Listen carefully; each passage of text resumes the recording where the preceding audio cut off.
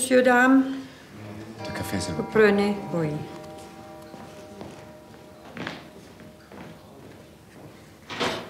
Martin, Ja? wenn ich ganz langsam einen Satz sage, kannst du ihn wiederholen? Was soll das denn? Also, in Frankreich gibt es Schnee. In Frankreich gibt es Schnee. Sehr gut. Das Leben ist schön. Das Leben ist schön. Ich liebe Michel und freue mich, dass wir bald heiraten. Ich liebe Michelle und freue mich, dass wir bald heiraten. Na also, dann weiß ich nicht, warum du so ein böses Gesicht machst. Habe ich das? Ja, seit halber Stunde du redest kein Wort. Es tut mir leid. Aber das Gespräch mit deinem Vater. Ich wünschte, wir wären schon wieder auf der Rückfahrt. Wenn ich an unsere letzte Begegnung denke. Papa hat nicht so einen dicken Kopf wie ich. Und er weiß, dass er mich verliert, wenn er dich nicht akzeptiert. Akzeptiert ist ein bisschen wenig. Findest du nicht? Aber was erwartest du? Soll er tanzen, weil ich weggehe? Er ist sehr allein. Und ich, wenn ich weg bin, ist er ganz allein. Das musst du doch verstehen.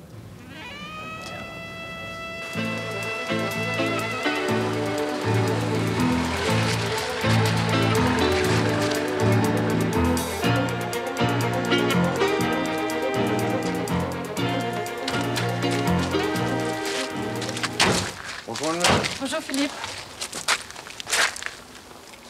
Das ist nur ein Rolls-Royce und das ist nur ein Schloss. Wichtig sind die Menschen, die hier leben?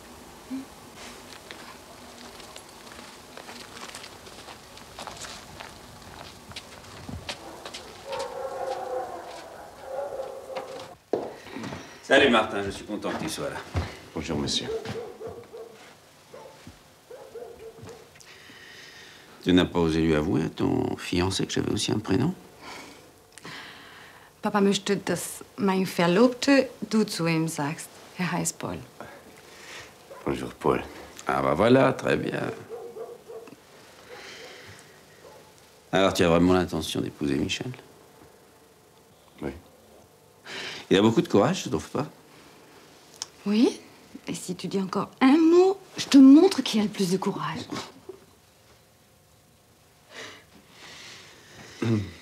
Michel est ce que j'ai de plus précieux au monde.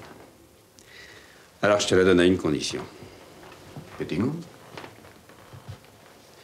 Oui. Tu la rends heureuse. Et ça, ce n'est possible que si dans la vie tu fais exactement le contraire de ce que j'ai fait. Je ne sais pas si nous aurons suffisamment de temps pour que je te raconte tout ce que j'ai fait de faux. Heureusement pas tout. Sans ça, Michel n'existerait pas. Bien sûr. Bah, on se voit à dîner parce que chaque minute de bavardage, ça me coûte une fortune. On sera cinq à table. Comment? Tu as encore ce soir des affaires à régler? Non, non, j'ai invité des amis que je veux que tu connaisses. 8 heures. 8 heures. Was machen wir bis dann? Du kannst mir das Schloss zeigen? Monsieur Goldman. Oui,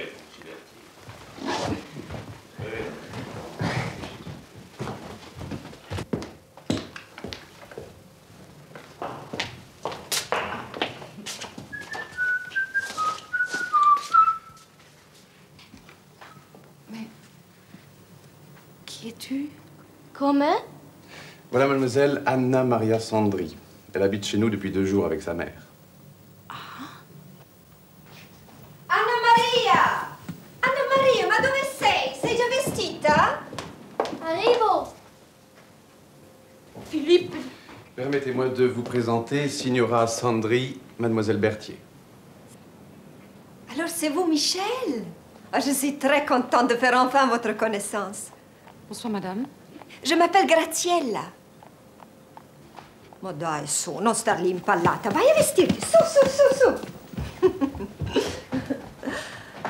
Dann sind Sie also Martin Zerfas? Ja. Paul hat mir schon so viel von Ihnen erzählt. Sie wohnen an der Mosel, nicht wahr? Seit zwei Tagen trinken wir Ihren Wein. Äh, Paul hat doch den ganzen Keller voll von Ihrem Wein. Von der Auktion. Ach so, ja, ja. Sie müssen mich jetzt entschuldigen, ich muss mich fertig machen.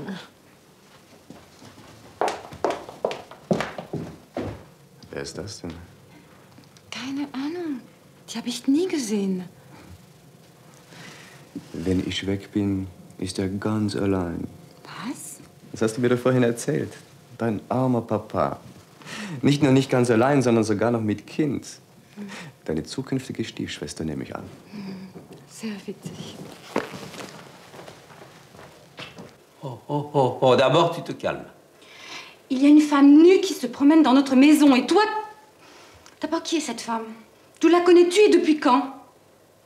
Oui, c'est un interrogatoire. Oh, je t'en prie, papa D'abord, tout ça est entièrement de ta faute.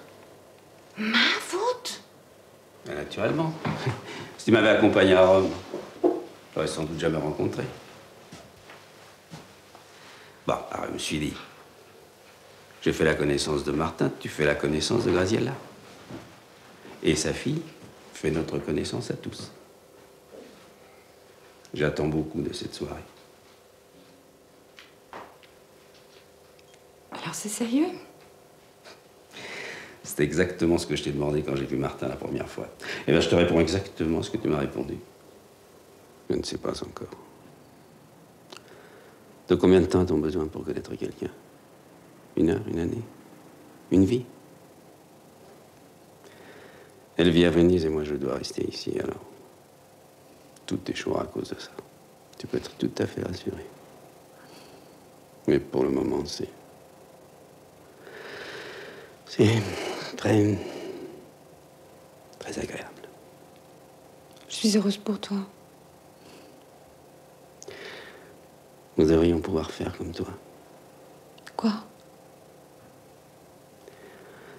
Sans condition, tout abandonner.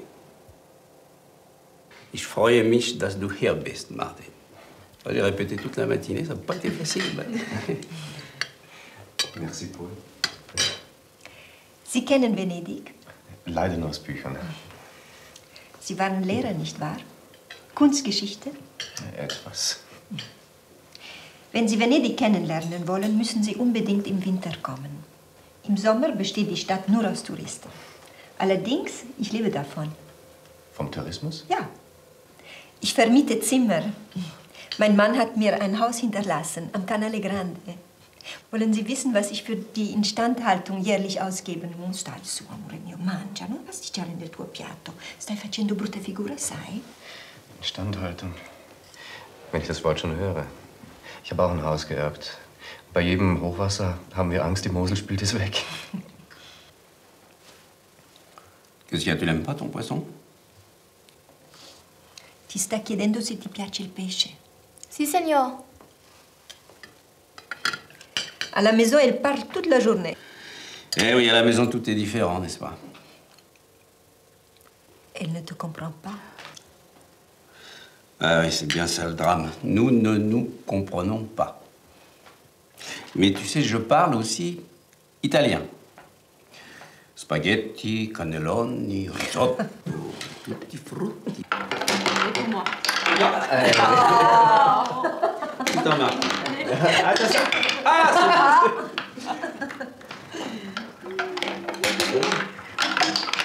Dai! Tutto là. Stai attenta, stai attenta! Stai attenta, no! Ci fai perdere tu! Che stai guardando? C'è il mare. Ho visto se guardando? Stai attenta, no? Ci fai perdere, ma dove vai? Anna Maria, dove vai? Anna Maria, vieni qua. Anna, vieni qua. Anna! Anna Maria!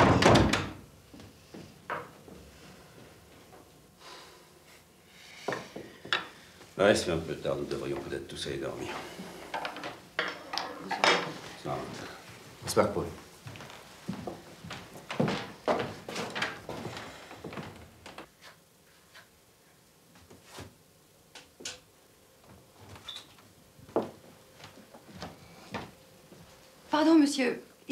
Noch ein Platz frei? Wie die Anna-Maria deinen Vater angeschaut hat. Das erinnert mich an Lolita. Vielleicht. Vielleicht aber nur ein kleines Mädchen, das sich überlegt, ob mein Vater ihr Vater sein könnte. Ob dein Vater mein Vater sein könnte.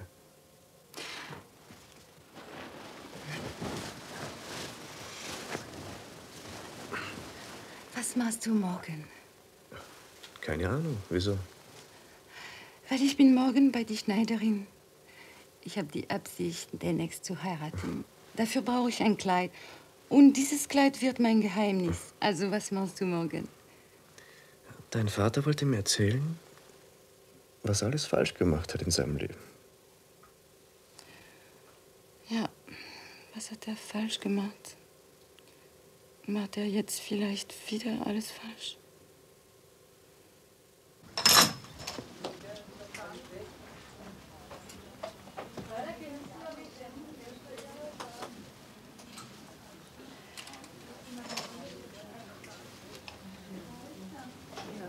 Fräulein, Oh, Jana, was sagen Sie? eine fette Raupe. Wie bitte? Ich sehe aus wie eine fette Raupe. Aber das können Sie wirklich nicht sagen. Das Kleid bringt Ihre Figur doch wunderbar zur Geltung. Und Sie müssen sich den Schal dazu vorstellen. Der gehört nämlich dazu, sehen Sie? So. Haben Sie denn wirklich nichts anderes? Nur das, was Sie da sehen. Für welchen Anlass brauchen Sie denn das Kleid? Wiener Opernball und vielleicht noch eine Hochzeit. Wie schön.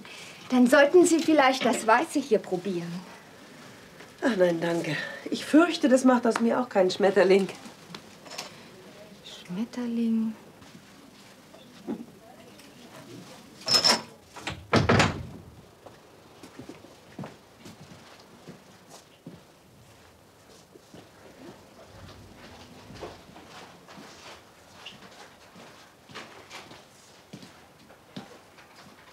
Herr Faber. Zaffers? Na, immerhin. Sie kennen mich also noch. Was heißt das? Ich hatte gedacht, Sie würden gelegentlich bei mir vorbeischauen auf einen kleinen Tratsch. Wenn Sie etwas über uns wissen wollen, sollten Sie mit Frau Zerfers sprechen oder mit Martin. Sehr gut, ja. Aber wo finde ich die? Frau Zerfers ist in die Stadt gefahren, die muss aber gleich wieder zurück sein. Und Martin ist in Frankreich. Der hat es bis jetzt noch nicht für nötig gehalten, mir seine Verlobte vorzustellen. Wie finden Sie das, Faber? Vielleicht hat er seine Gründe. Ja, da fällt mir ein, vor einigen Jahren, da haben wir eine Spende gemacht an das Seniorenheim. Sie erinnern sich? 1982. Da haben Sie sich von 200 Flaschen getrennt. Gegen Spendenquittung, nicht wahr? Richtig. Wenn ich jetzt mal Ihren Rat als äh, Steuerfachmann erbitte. Was glauben Sie, bis zu welchem Betrag würde das Finanzamt mitspielen? Das Finanzamt spielt leider überhaupt nicht, so viel ich weiß. Ich bin auf einer ganzen Sendung nach Japan sitzen geblieben. Das wäre das Weihnachtsgeschäft gewesen, aber diese Schlitzaugen haben ja rücksichtslos storniert. Moment. Das sind aber doch 40.000 Flaschen und die wollen Sie jetzt. Warum nicht? Ich habe immer ein Herz für alte Leute. Ja, habe ich ja immer gehabt. Oh ja, Ihr gutes Herz ist mir bekannt. Na, sehen Sie. ja. Ich muss das Lager räumen. Ich brauche Platz mit dem 85er. Aber die Japaner sind ja leider unzuverlässig. Na, dann setzen Sie mal die Altersheime unter Alkohol. Das Finanzamt wird entzückt sein. Sie meinen also, Herr Zerfas, bei Ihren Beziehungen. Es dürfte doch kein Problem sein.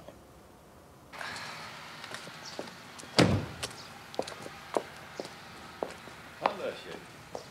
Treffe ich dich also doch noch? Ja, ich wohne hier. Und was treibt dich zu uns? Eine Frage. Man könnte sogar sagen, eine Bitte. Da machst du mich aber neugierig. Laut Vertrag wird demnächst der 85er fällig und ich habe im Moment keinen Lagerraum. Und da möchte ich dich bitten, die Partie bis auf weiteres bei euch zu belassen. Du willst nicht kaufen? Was heißt wollen? Vertrag ist schließlich Vertrag. Und selbstverständlich kriegst du eine Anzahlung. Verstehe. Die Geschäfte laufen nicht so recht. Hanna, du weißt doch, wie es beim Bahnhärtel zurzeit aussieht. Die Skandale werden uns noch lang zu schaffen machen. Das tut mir leid. Mir geht's im Augenblick eigentlich ganz gut. Unsere Kunden beweisen uns nach wie vor ihr Vertrauen. Dazu kommt der Trend zu trockeneren Weinen. Na, siehst du. Da muss es dir doch ein leichtes sein, mir. Ein leichtes ist es mir nicht. Aber dass du mich um etwas bittest. Die Situation ist neu und die will ich auskosten. Wenn ich wieder hinten hoch kann, dann. Also, du bist selbstverständlich die Erste, die ihr Geld bekommt. Das beruhigt mich. Danke. Sag mal, wie macht sich eigentlich Gunther? Bist du mit ihm zufrieden? Doch, der Junge macht viel Freude. Jetzt erlebt er auch gleich mal, was eine Krisensituation ist. Die hat er schon bei mir erlebt. Zwei Jahre lang. Na, siehst du. Also, ich melde mich.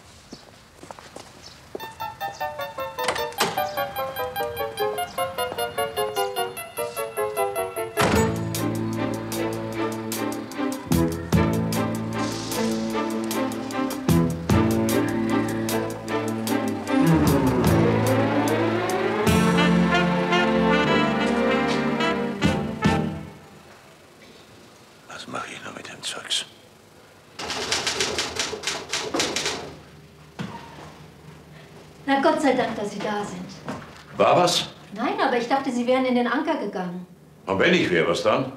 Sie haben gestern gesagt, das ewige Gasthausessen hängt Ihnen zum Hals raus. Na und? Ich habe gestern Abend Kohlrouladen gemacht. Und da habe ich ein paar mehr gekocht und heute mitgebracht. Kohlrouladen. Ja, ich kann sie jederzeit warm machen, wenn Sie wollen. Sie glauben, ich fresse auf meine alten Tage aus dem Händelmann. So weit kommt's. Ja, aber ich In dachte... 82 habe ich eine Spende für Fernsehen in Unheim gemacht. Die Unterlagen suchen Sie mir bitte raus. Und den Steuerbescheid 82. Und Gunther soll kommen.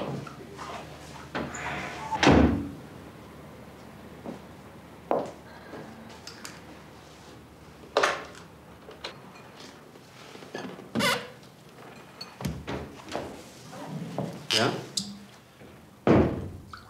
Gunther, ich habe vorhin mit deiner Mutter gesprochen.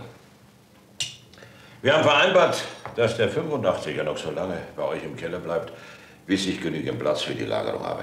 Wieso? Du hast doch jede Menge Platz. Mhm. Ja, wenn die Lieferung nach Japan aus dem Haus ist. Aber Ludwig, du weißt doch ganz genau... Also Schluss jetzt! Es bleibt dabei. Aber ich nehme an, du hast gemerkt, dass ich im Augenblick nicht gerade flüssig bin. Und ich nehme an, dann wird dich das hier freuen. Was ist das denn? Der Pfeifer hatte doch 300 Flaschen Auslese geordert. Von dem Fuder waren also 1000 Flaschen übrig. Und die habe ich vorhin verkauft. Die Flasche zu 13,50. Was hast du? Verkauft. Wie wär's mit einer kleinen Anerkennungsprämie? 13,50. Weißt du, was ich in einem Jahr dafür bekommen hätte? Kann sein, kann aber auch nicht sein. Du jammerst doch immer, dass du keinen Lagerraum hast. Ach, Quatsch!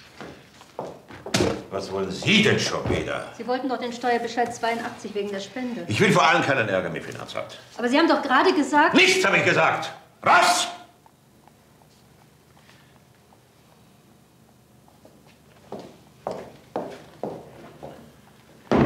Und dir will ich auch mal was sagen, Mutter. Wenn du glaubst, du kannst hier mein Geld zum Fenster hinausschmeißen. Das hast du doch gemacht. Was? Pfeiffer wollte 300 Flaschen Sonnenberg Auslese. Na klar, du musst ein Fuder kaufen. Aber du hättest dran denken können, dass wir noch 81er Sonnenberg auf Lager haben. Er wollte 85er. Na und?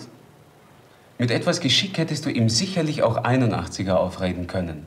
Vor allem, wenn du ihm im Preis entgegengekommen wärst. Lehr du mich Wein verkaufen! So weit kommt's! Ich habe verkauft! Und wenn dir das nicht passt, dann kann ich ja wieder gehen. Deine Launen sind manchmal wirklich Was sind meine Launen? zum Kotzen! Ja, da hast du recht.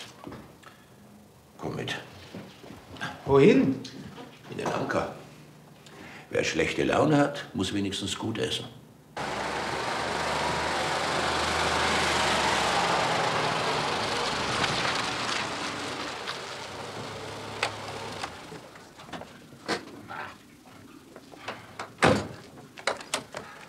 einziges Auto mehr. Wir sind wieder mal zu spät dran. Ja. Ein guter Stammgast wird in einem guten Lokal jederzeit gut bedient.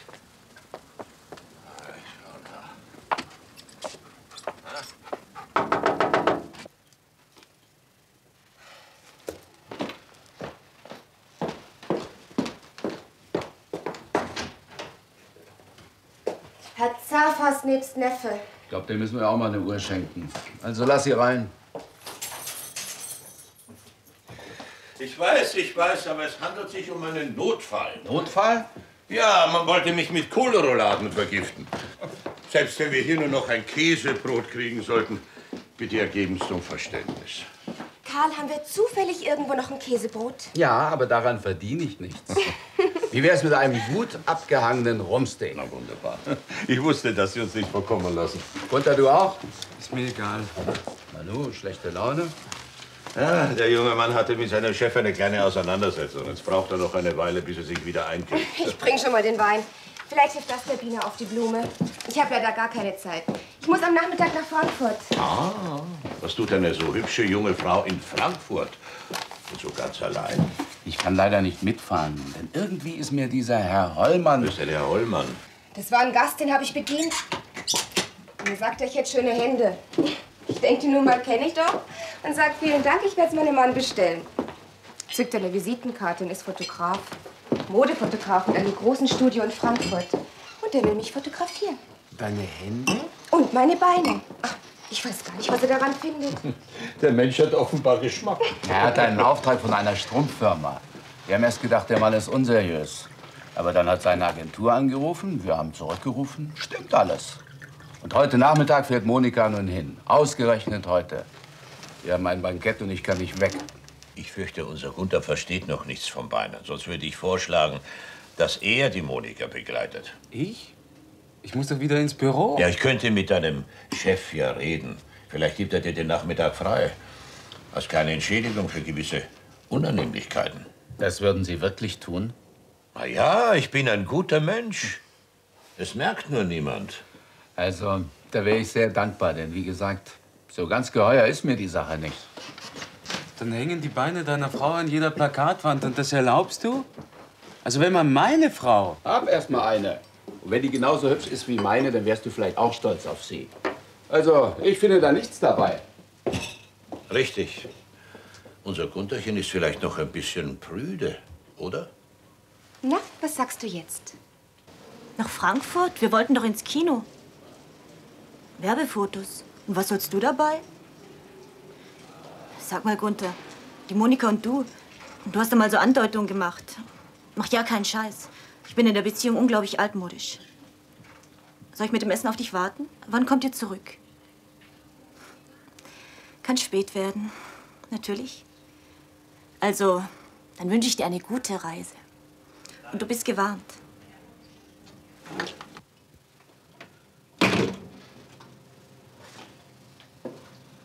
Na, darfst du mit? Blöde Frage. Aber es gehört sich einfach, dass man anruft, wenn, Wenn man nicht unter dem Pantoffel steht? Du stehst also nicht unter dem Pantoffel. Ich bin doch nicht verrückt. Aber irgendwo muss der Mensch ja bleiben. So, die hat sich einfach ausgezogen und gesagt, was ist. Ist mir auch noch nicht passiert. Und was hast du gesagt? Nichts. Ich habe die Puppe tanzen lassen. Hat sie? Was? Getanzt, wie du das zu nennen beliebst. Nicht schlecht, aber kein Vergleich. Hey, du sollst fahren. Tu ich ja, ist ja kaum Verkehr. Und dabei soll es auch bleiben. Heißt es never ever? Dein Karl ist ja ein lieber Mensch, aber Mein Karl hat etwas, was du nicht hast. du machst mich aber ganz schön neugierig. Was hat er denn, dein Karl? Herz. Ob du eins hast, das muss ich noch zeigen. Mit Herz und Gefühl kommt man heute nicht weit. Das kannst du jeden Tag lernen. Ich glaube, du musst noch viel lernen. Aha. Martin! Na, wie war's? Seid ihr eben erst gekommen? Ihr wart ja richtig fleißig. Es bleibt mir anderes übrig. Ich kann doch sonst nicht weg. Also los, erzähl. Ich glaube, es gibt eine Doppelhochzeit. Was? Martin redet Quatsch. Mein Vater hat eine Bekannte da gehört. Und jetzt meint er, dass... Wart's ab, wir sprechen uns noch. Und warum auch nicht? Sieht gut aus, im passenden Alter, mit Grundbesitz und Tochter, Venezianerin, spricht alle Sprachen. Michelle ist eifersüchtig. Jetzt redest du wirklich scheiße. Die Sprache spricht sie allerdings nicht. ihr seid ja ganz schön übermütig. Ich darf also annehmen, dass euer Besuch gelungen war. Du darfst. Die Hochzeit ist am 8. Februar. Aha. Am 8. Am 6. ist der Opernball. Das schaffe ich doch alles gar nicht. Paul hat einen wahnsinnigen Terminkalender. Es ist die einzige Möglichkeit. Paul? So heißt mein zukünftiger Schwiegervater. Du hast also die Wahl. Mit Leo nach Wien zum Opernball oder nach Frankreich zu unserer Hochzeit. Ich nehme allerdings an, als gut organisierte Frau schaffst du beide Termine. Das sagst du so einfach. Ich habe noch nicht mal ein Kleid. So, Detlef, jetzt steigt man die Füße über. Sehr gut. Zeig mal dein Händchen. Fein. Etwas graziöser könnte das Ganze gehen. Du, schau mal, treff ihn etwas mehr links. Komm mal rum hier. Danke, so ist gut. Wenn ich mir jetzt noch vorstelle, du wärst richtig schön gekämmt, dann Scheitel ist nicht die Welt, ne? Aha. Ina, fertig? Ja, danke. Dann gib mir auch mal ein Stückchen. Was haben wir denn hier? Das Übliche. Ah, Prost. Prost. Na? Wie findest du mich? So willst du dich? Ich nicht, die. Es wird ein schönes Gerede geben. Was? Monika Wendel, die Wirtin des ehrenwerten Gasthof Anker als Pin-Up-Girl. Monika, wir leben doch in einem Dorf. Du weißt doch, wie die Leute sind. Armer Karl. Die wollen meine Beine fotografieren. Kein Mensch wird wissen, dass das meine sind. Ja. Und was soll dann diese Frisur? Sie wollen doch meine Hände und Beine fotografieren. Ja, wieso? Was ist mit meinem Kopf? Den finde ich gut so. Warum? Man wird mich also erkennen auf den Bildern. Natürlich, Sie haben doch das Einverständnis unterschrieben. Also, wir fangen jetzt an. Setzen Sie sich mal dahin, bitte. Einen Moment mal bitte. Was ist denn nun noch los? Ich nehme an, Sie haben sowas noch nie gemacht?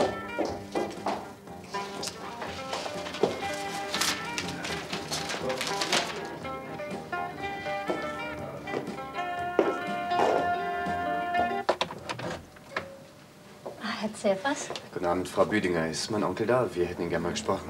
Ja, bitteschön.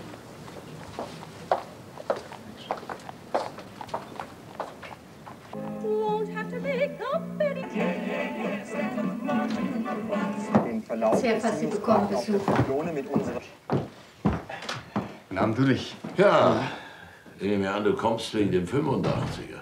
Was? Ja, deine Mutter wird dir doch sicher erzählt haben, dass ich heute bei ihr war. Kein Wort. Naja, sie hat ja auch den Kopf voll mit ihrem Ball und unserer Hochzeit. Nein, ich bin gekommen, dir meine zukünftige Frau vorzustellen. Das ist Michelle, das ist mein Onkel Ludwig. Tja, Mademoiselle, ich bin der berühmte und berüchtigte Onkel Ludwig. Bonjour, Onkel Ludwig. Ich glaube, Michelle, du gefällst mir. Und ich sehe, du hast Manieren. Ich hoffe, das färbt ein bisschen ab. Bei uns in der Familie gibt es einige Pflege, mich eingeschlossen. Darauf wollen wir trinken. Außerdem wollten wir dich zu unserer Hochzeit einladen. Die ist am 8. Februar. Ich hoffe, du hast Zeit. Die Zeit nehme ich mir. Da müsste schon die Welt untergehen. Wo soll das stattfinden? Bei uns zu Hause. In der Nähe, es gibt genügend Möglichkeiten zu schlafen. Auch im Schloss. Im Schloss, ja. Und ich habe Schloss gespielt. also darauf freue ich mich. Prost.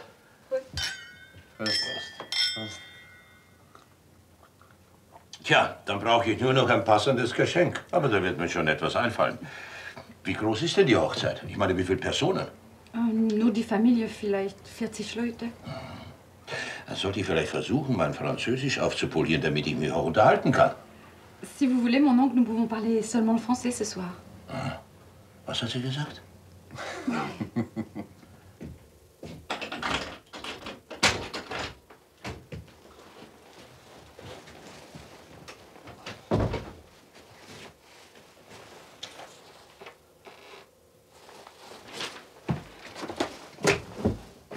Petra! Petra, mach die Tür auf, was soll denn das? Mach sofort auf, sonst gibt's Ärger. Petra! Sag mal, spinnst du? Du hast gesagt, es kann spät werden. Ich habe morgen früh Dienst. Das ist doch kein Grund, die Tür abzuschließen. Ich hab's nicht gern, wenn niemand alte Brötchen aufwärmt. Was? Mit der Monika und dir war doch mal was. Und wenn das jetzt wieder losgeht, ich bin für klare Verhältnisse. Ich auch. Und weißt du, was ich nicht mag? Eifersucht. Noch dazu unbegründete. Gute Nacht.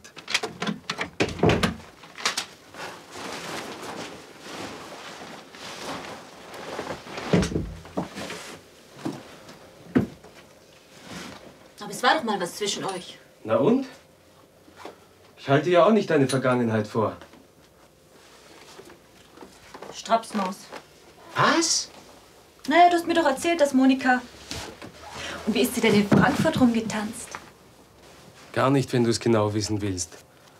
Der Fototermin fand nicht statt. Ach. Warum nicht? Erzähl ich dir morgen, jetzt will ich schlafen. Ich habe nämlich auch morgen Frühdienst. Gute Nacht.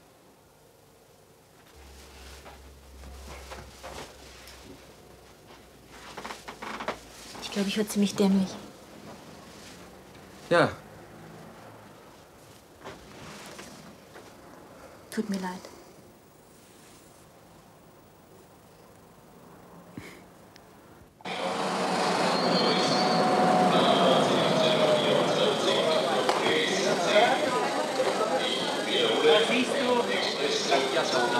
Ach, das war eine Hetze. Die Hochzeit ist jetzt schon am 8. Ach. Und ich hatte mich morgen noch auf einen gemütlichen Wienbummel gefreut. Tut mir leid, ich muss die Feste feiern, wie sie fallen. Schade. Fahren wir gleich nach Krems oder möchtest du vorher noch ins Hotel?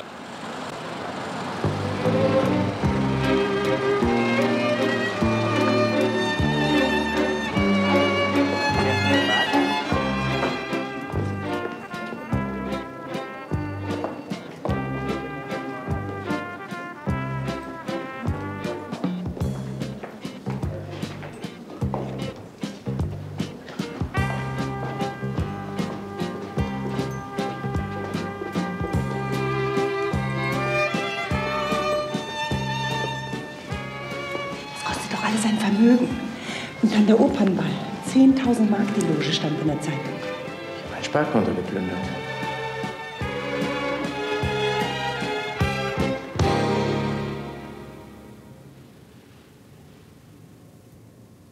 Gefällt's dir? Ja, sehr. Willst du auch mein Zimmer sehen? Schräg gegenüber. Ach so. Wie bitte? Was? Und zu deiner Beruhigung. Die Kosten für unseren Ausflug trägt der österreichische Weinwirtschaftsfonds. Und warum? Die Skandale. Beide Länder haben die größten Probleme. Österreichs Weinexport ist im letzten Jahr um 54 Prozent zurückgegangen. Ein Verlust in Milliardenhöhe. Da muss man alle Anstrengungen machen, um aus dem... Ja, ja, aber warum haben die gerade uns eingeladen? Sie haben mich eingeladen. Mit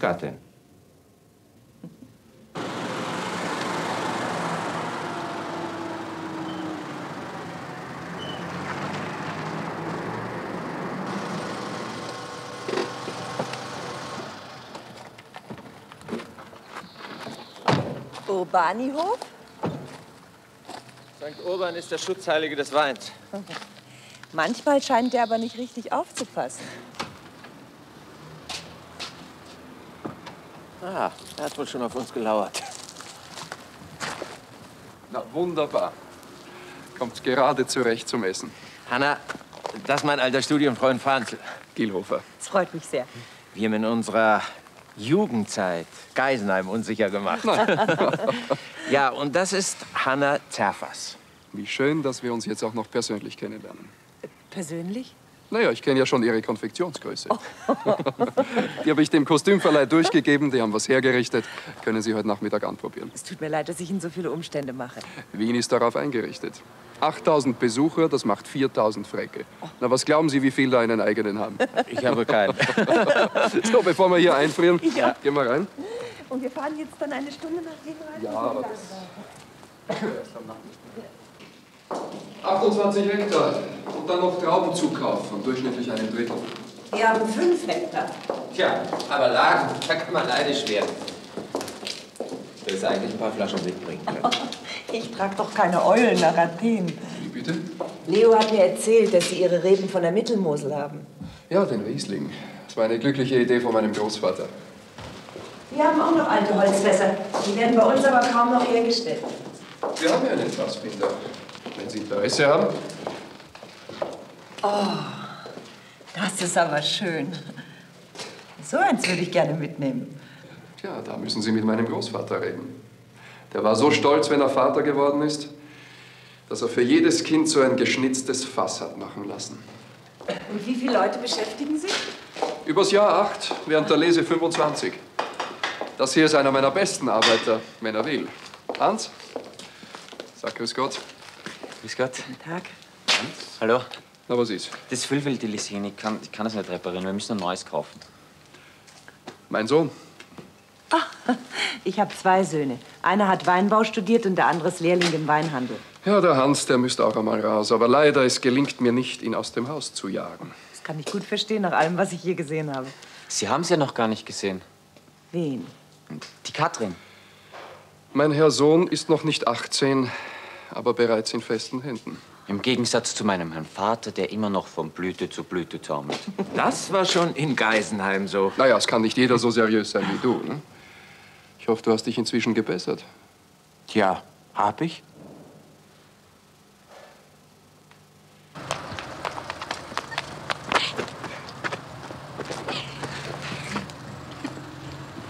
Ich habe eine gute und eine schlechte Nachricht. Welche willst du zuerst hören? Die schlechte natürlich. Wir haben heute Besuch aus Deutschland und mein Vater möchte, dass ich beim Essen dabei bleibe. Das werde ich überleben. Und die gute? Mein Vater fährt heute Abend wirklich zum Opernball. Das heißt, wir könnten heute Abend eine Fete machen. Aha. Ich habe auch eine gute und eine schlechte Nachricht für dich. Die schlechte? Ich mag dich noch immer. Und die gute? Wir werden eine Fete machen. Aber zu zweit.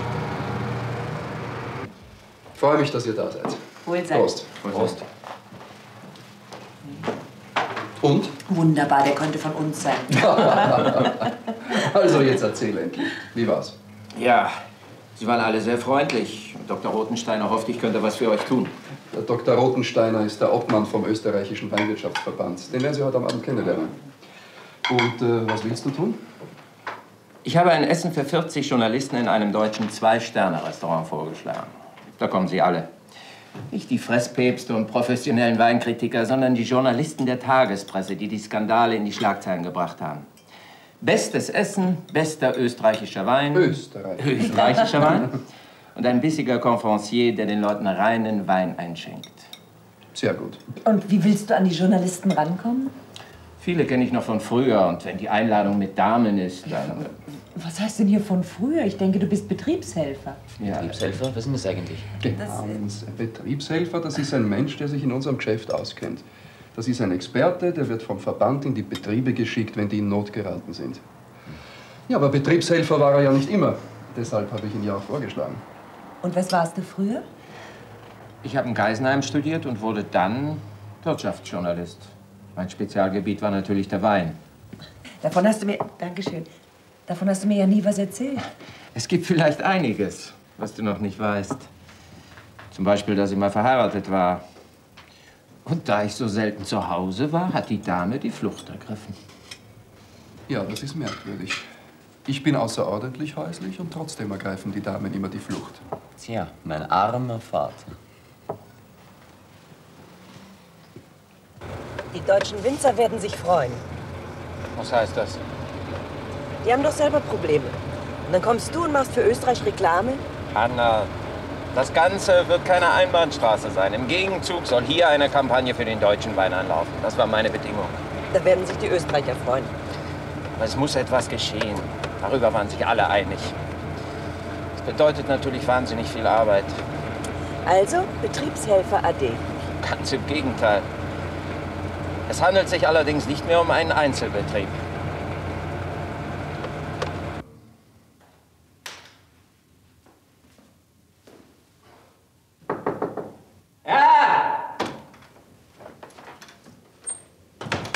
Leo? Hier bin ich. Was ist denn? Ich hab ihn. Jemand hat mal gesagt, ein Mann, der zum ersten Mal in seinem Leben versucht, einen Frack anzuziehen, ist der einsamste Mensch auf der Welt. Macht nichts, wir können sowieso nicht gehen. Das Kleid ist nicht gekommen. Aber ich versuche noch mal anzurufen. Nicht nötig, das Kleid ist hier und gegeben worden. Äh, ich habe übrigens gefragt, du kannst es noch eine Woche behalten. Ach, jetzt hast du schon gesehen und ich wollte dich überraschen. Brautkleider darf man vorher nicht sehen, Ballkleider auch nicht. Beim Friseur war vielleicht ein Betrieb alles Opernball. Ich musste stundenlang warten. Es hat sich aber gelohnt. Findest du? Ja. Auch ein Schluck? Ja, gern. Leo, Was ist denn? Kannst du eigentlich links rum? Was? Walzer, links rum. Ich habe gehört, das muss man können, sonst rempelt man alle an.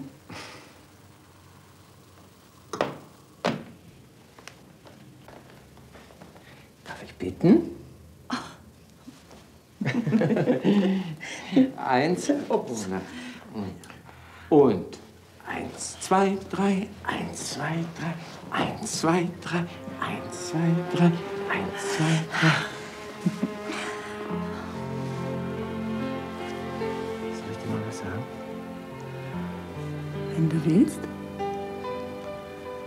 Es ist sehr schön, dich im Arm zu halten.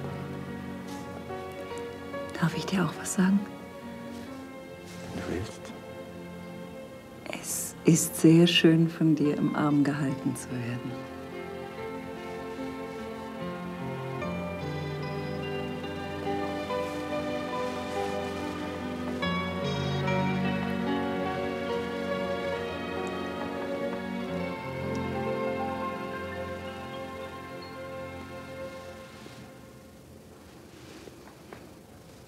Fängt der Ball eigentlich an?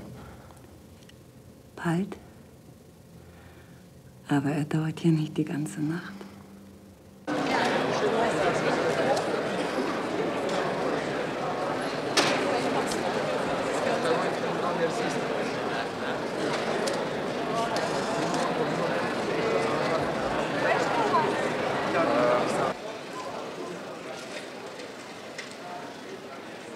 Guten Abend. Guten Abend. Oh, da wären wir. Guten Abend. Guten Ja. Der Dr. Rotensteiner, Guten Abend. Frau und Dr. Stefanie. Hallo. Oh, natürlich. Sie haben das Weingut an der Mosel, Ja, nicht wahr? richtig. Ja. Guten Abend. Oh mein Gott, wie schön. Und diese Blumen. Ja, die sind erst heute Vormittag frisch gekommen aus Italien. Welche Pracht. Ja, welche Pracht. Für Sie ist das doch nichts Neues. Sie sind doch jedes Jahr auf dem Opernball. Ich habe auch nicht den Opernball gemeint. Sondern Ihr Kleid, gnädige Frau, ist einfach bezaubernd. bezaubernd eng. Wenn ich nur ein Glas trinke oder einmal tief Luft hole, dann gibt es eine Katastrophe. Ja, aber das verstehe ich nicht. Sie haben doch Ihre Maße deutlich Ja, ja, angegeben. ja, da waren noch zwei Kleider zur Auswahl da. Aber dann sah ich dieses hier. Es war ein bisschen eng und man versprach mir, es weiterzumachen. Das ist zwar geschehen, aber das Ganze ist eine reine Angstpartie. Von mir redet wieder mal keiner. Wieso? Was ist mit dir? Ich fühle mich wie in einem Panther. Ah, schaust aber unglaublich fesch aus. Warte nur bis nächstes Jahr. Wieso, was nächstes Jahr? Ja, wenn du mal den Frack voller Orden hast, was? Österreichischen Weinbauverband. Deutscher Weinbauverband. Großes Verdienstkreuz und was es sonst noch alles gibt. Meine größte Freude wird sein, wenn ich das Monstrum wieder ausziehen darf. Der Ball dauert ja nicht die ganze Nacht. Wie meine?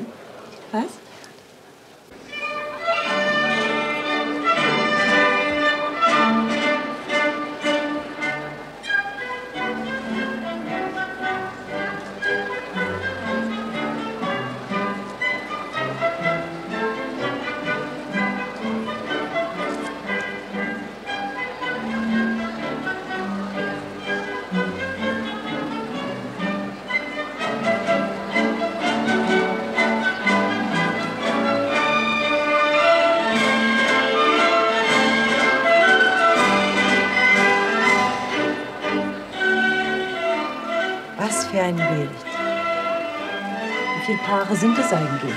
Na, was schätzt du? Ich weiß es. Es sind 180. Und nächstes Jahr ist meine Steffi auch dabei. Gratuliere. Wie kommt man zu so einer Ehre? Beziehungen. Die trainieren das in allen Tanzschulen Österreichs. Monatelang. Na dann die Aufregung, dass man keinen Fehler macht. Ne?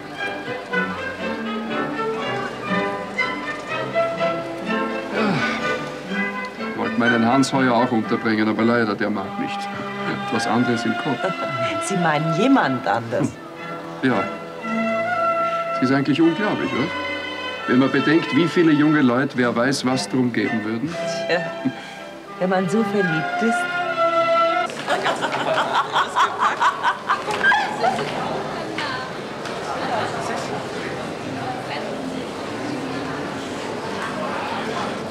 Was ist passiert? Was ist passiert? Das Kleid ist geplatzt, ich stehe im Freien. Dreh dich mal um. Ja, gnädige Frau, da gibt's nur eins, zunähen. Und zwar ganz radikal, von oben bis unten durch. Sonst ist der Abend für Sie futsch. Also dann los, bitte. Aber wie kommen Sie nachher heraus aus dem Kleid? Ich werde schon schaffen. Na, was dann? Gehen wir's an.